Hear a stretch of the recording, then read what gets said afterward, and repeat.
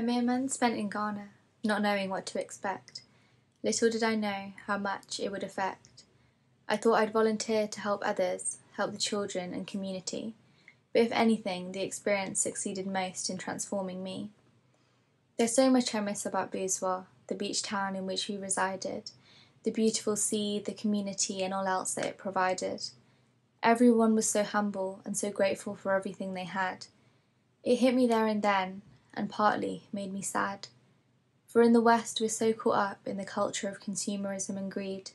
For us, the goal is money, and we need it to succeed. But all they desired was faith, stability, and good health. No wonder they're so satisfied without craving endless wealth. I miss the children's beaming faces and enthusiasm to learn, the way they'd sit and answer questions, just waiting for their turn. When I arrived, I only gave them crayons and bouncy balls, not really much to boast.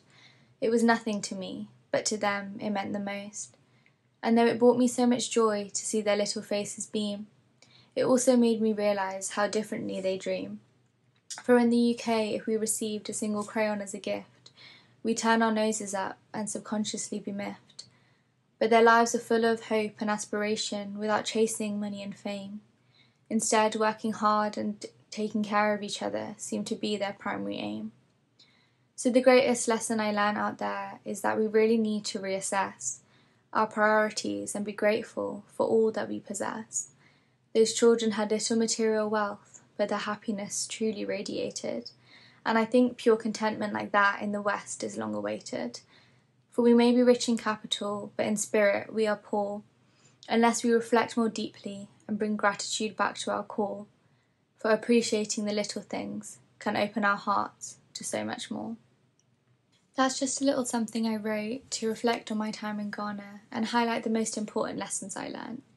In our society, it's so easy to get caught up in our everyday struggles and problems that we face. And while a lot of that is valid, it can sometimes make us lose focus on just how much we really have. It's so easy to get caught up in chasing the new phone or the big job, and while these things may advance our social statuses and increase our material happiness, there's definitely a level of contentment that's not accessible through that. When you strip away the money and the technology and the social media attention, we're left with things of genuine importance like faith, good health, and love.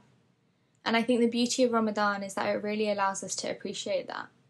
So, this year, as you abstain from food and other habits, use your time to acknowledge that while we may not be in the financial positions we aspire to be in or have the material things we desire, there's so much more to life and happiness that we can appreciate along the way.